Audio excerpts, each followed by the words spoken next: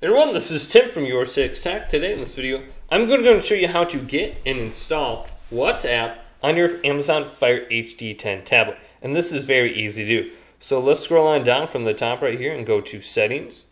And then go on over to where it says Security. And select the Security and Privacy. And go to Apps from Unknown Sources. Go to Silk Browser and allow this. So I can see it's allowed right here when it's yellow. Now let's go to the home screen and go to the Silk browser. So let's go to the URL and type in www.whatsapp, then slash Android, just like this. Press enter. And it'll bring us to the Android download for WhatsApp. So it's just this URL, whatsapp.com slash Android. Then scroll on down, go to the package installer under the Google Play Store. So do not select Google Play Store.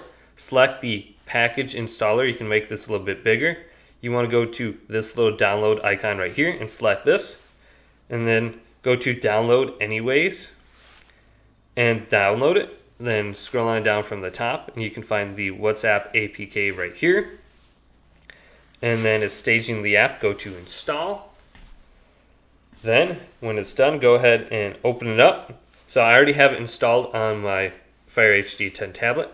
So if I go to the home screen now, I can find it under here. So here's WhatsApp right here. Then we can also go to the library and we can find it under the Silk browser. So I can see WhatsApp right there. So hopefully this video did indeed help you out. If it did, leave it a big thumbs up and subscribe to my channel down below for more tech up videos coming up next on Your 6 Tech.